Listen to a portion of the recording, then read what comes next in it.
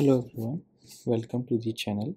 So in this video we will see how you can resolve this particular issue cannot open local terminal inside the IntelliJ terminal.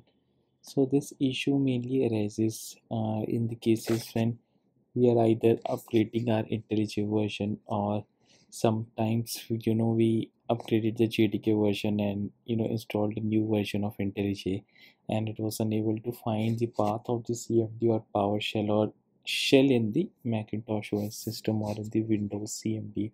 So this issue arises. I faced this issue mainly in the IntelliJ in PyCharm and I searched Google and you know got some results but those were either not working or worked in some cases but not in the other ones. So I am going to you know show you uh, the resolution for the same how you can resolve them. And let me open my IntelliJ.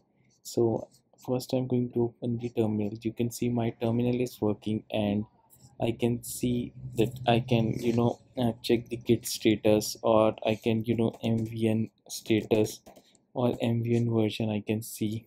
So commands are running. IntelliJ is there so how we can resolve this? One is to go to the IntelliJ settings inside the menu option. And this terminal you can explicitly set the path apply ok and then restage invalidate cache and restart the IntelliJ.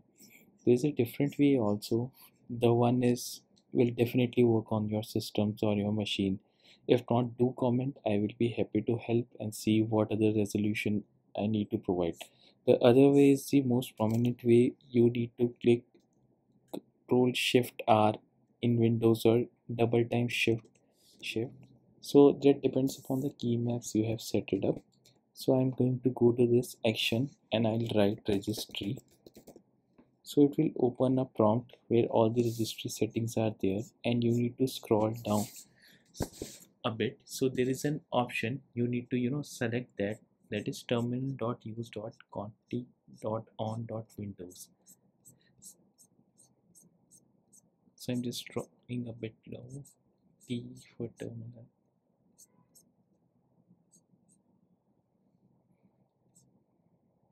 terminal dot use dot. So this you need to deselect this thing. And after that just restart your IntelliJ and the terminal will start working so try this case try this way. In case it will not work do comment and I will be happy to help. So that's it for today guys. Thank you